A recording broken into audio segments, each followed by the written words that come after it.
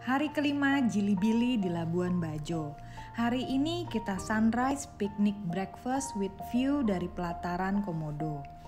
Mengawali hari di puncak Bukit Amelia.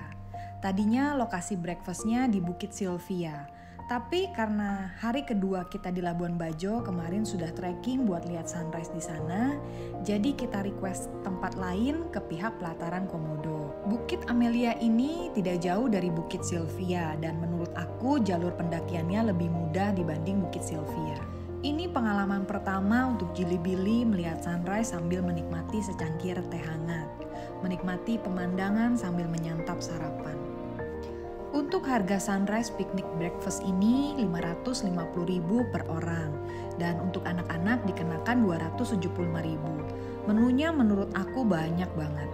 Ada sandwich, ada buah, kopi, teh, roti, pastel, pokoknya banyak banget. Dan yang pasti ini menjadikan kenangan yang tak terlupakan.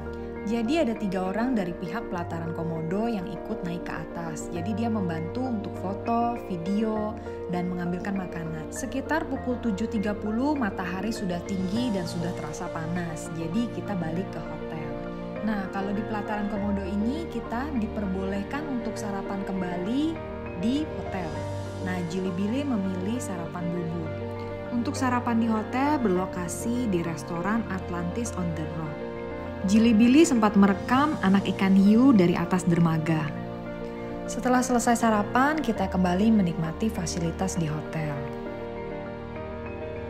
Jadi di sini kita bisa bermain paddleboard atau berenang atau bermain ayunan di pinggir pantai. Ada staff yang selalu berjaga di pinggir pantai, jadi kita tidak perlu khawatir kalau anak-anak bermain paddleboard. Hari ini kita sewa mobil lepas kunci, jadi kita nyetir sendiri. Dan untuk makan siang kita mau coba Pondok Maicenggo yang ada di Labuan Bajo. Pondok Maicenggo ini termasuk tempat kuliner recommended di Labuan Bajo. Restoran yang menyediakan berbagai macam makanan.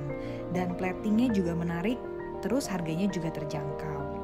Konsepnya bagus, jadi banyak ruang terbuka di sini. Di bagian atas untuk outdoor dan kalau mau yang AC ada di bawah. Nah, jadi di bawah itu ada satu tempat yang jual es krim gelato dan kalau ke sini wajib banget beli itu. Kayaknya dari kemarin aku keliling Labuan Bajo cuma di sini yang jual es krim gelato. Harga es krimnya seingat aku mulai dari 15.000 sampai 30.000 dan favoritnya adalah Black Dragon. Waktu Jili-Bili ke sini cukup ramai, jadi harus reservasi dulu. Mungkin karena lokasinya sangat strategis dan dekat dengan bandara. Setelah kita makan di Maicenggo, kita akan menuju ke Mohini Resort, salah satu hotel terbaik juga di Labuan Bajo. Jadi jangan lupa subscribe untuk video berikutnya.